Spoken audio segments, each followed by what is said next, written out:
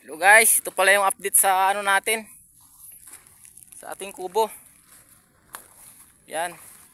So yung kahoy na nagamit natin, 30 piraso, mga ganito kalalaki.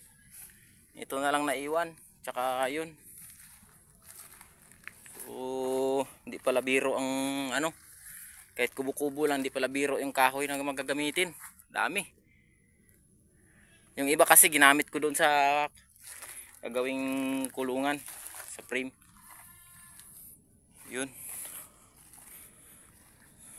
Ito may pako pang naiwan. Nagda bili ako kahapon.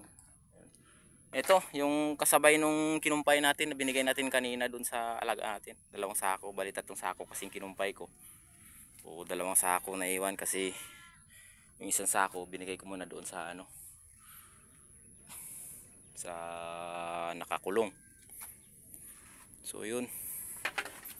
Ito may pamirinda tayo. Nakita ko doon. Medyo agulang na.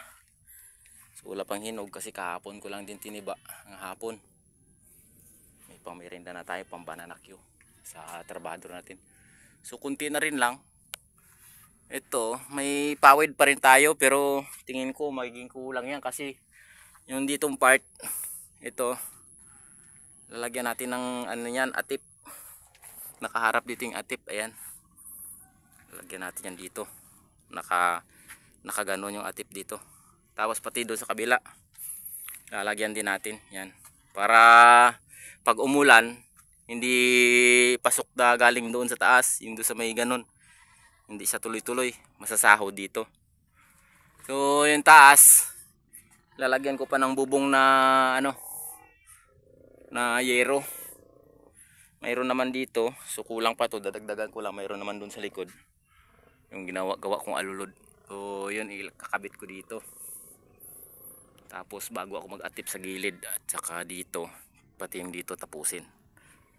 So sunod nyan nakapag-order na rin ako sa tao ng kawayan. Ang sabi niya baka bukas daw siya makakorte kasi nga bising busy nakaraan pa ko yun. Kasi nga bising busy siya. Eh, may ibang trabaho rin sa basakan.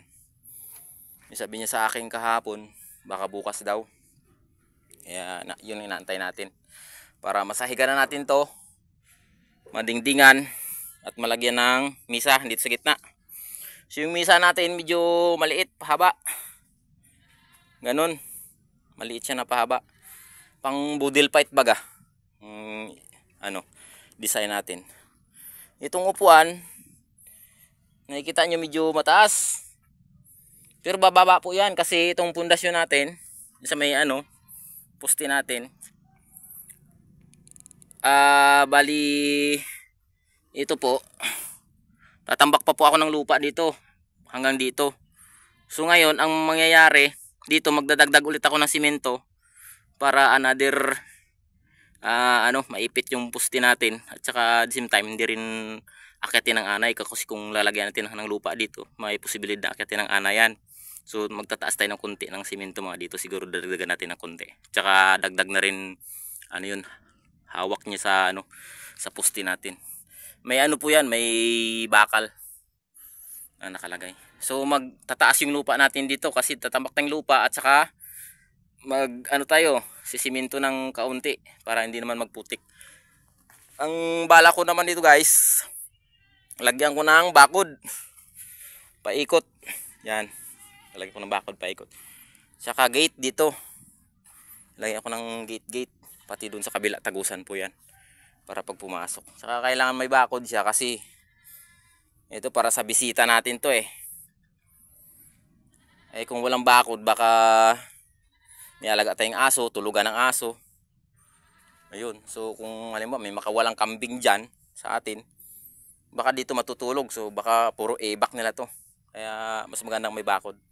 So yun lang kasi nantay ko lang yung mga materyales kasi magastos din talaga pala sa materyales tsaka sa ano sa oras. Uy, kaliwa kanan yung gawa natin. So ano amat-amat lang talaga. So yun lang guys.